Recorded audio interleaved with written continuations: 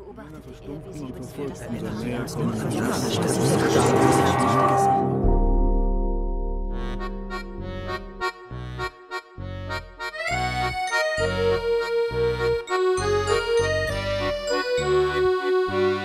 Es geht um ein Klassentreffen und zwar um das Klassentreffen ähm, von Jennerweins eigener Klasse, äh, zu dem er schon seit Jahren nicht mehr hingeht, an sich nie, weil ihn die alle sehr, sehr nerven. Und die äh, Klassenkameraden sind aber wohl in was verwickelt, ähm, wo er sie wieder rausholen muss. Es geht äh, wieder um Berge, also die, die Gefahr droht aus den Bergen, die kommt aus den Bergen und wird auch da wieder besiegt. Und es ist das ähm, Team von Jennerwein, das bewährte Team, das da zugreift. Sonst wäre dieser Fall auch gar nicht zu lösen.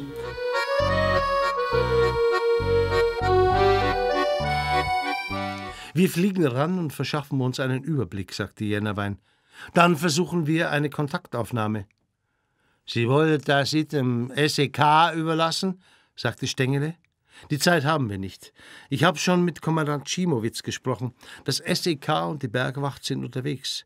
Ich werde versuchen, dem Geiselnehmer die aussichtslose Situation vor Augen zu führen. Wenn er ein Profi ist, wird er aufgeben. Wenn er ein Profi wäre, er hätte den ganzen Scheiß gar nicht erst angefangen, raunzte Stengele. Wer heutzutage noch sowas versucht, der ist ein größenwahnsinniger Selbstmörder. Ich glaube, dass da etwas anderes dahinter steckt als ein größenwahnsinniger Selbstmörder. Die Gebirgskette war schon zu sehen. Der Helikopter zog eine Schleife und jetzt konnte Jennerwein durchs Fernglas das Gipfelkreuz des Kramers orten. Er stellte schärfer. Am Boden des Gipfelplateaus lagen dreizehn Personen, alle in bunter Bergkleidung, vollkommen bewegungslos. Fliegen Sie näher hin, sagte Jennerwein. Niemand regte sich dort unten.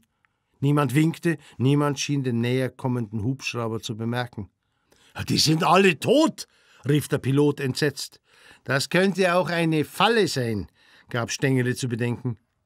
Jennerwein konnte durchs Fernglas bereits einige insektenartige Essekaler erkennen, die den Steilhang zum Gipfel hochrobbten.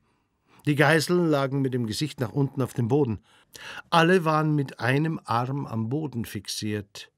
Die metallisch schimmernden Handschellen hoben sich vom Felsgestein ab. Fliegen Sie noch näher ran, schrie Jennerwein. Zuerst zur Steilwand. Ich will sicher gehen, dass dort niemand absteigt. Dann ziehen Sie hoch. Bleiben über dem Plateau stehen und lassen mich runter. Chef, wollen Sie das wirklich riskieren? rief Stengele. Wollen wir nicht erst über Lautsprecher? Nein, Stengele. Die Lautsprecheransage machen Sie, während ich absteige. Wenn der Geiselnehmer sich noch bei der Gruppe befinden würde, hätte er sich längst bemerkbar gemacht. Geben Sie mir Deckung. Der Abstieg in die Hölle begann.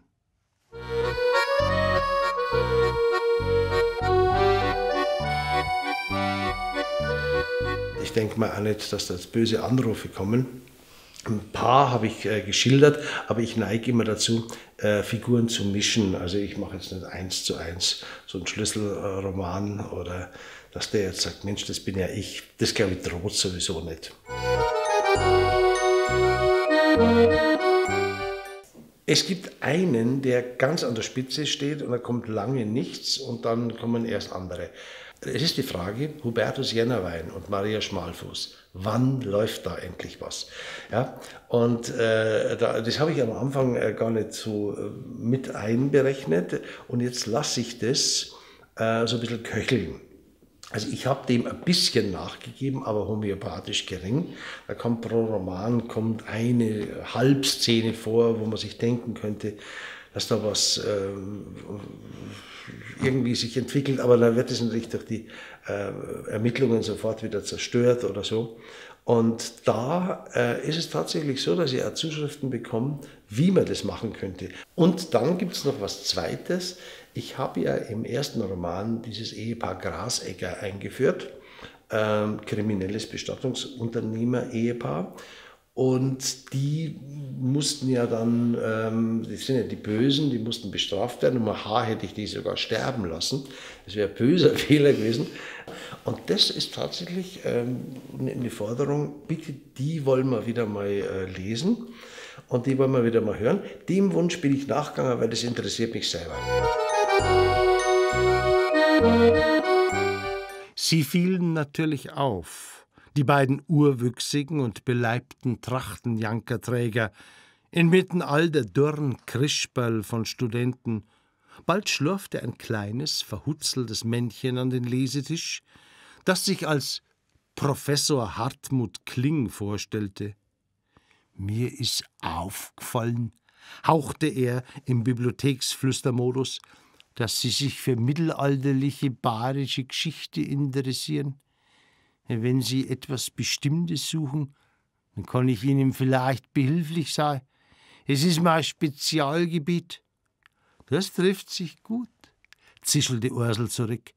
Wir suchen nach einem Vertrag, der 1294 zwischen Bischof Emmicho von Freising und dem deutschen König Adolf bezüglich des Werdenfelser Landes geschlossen worden ist.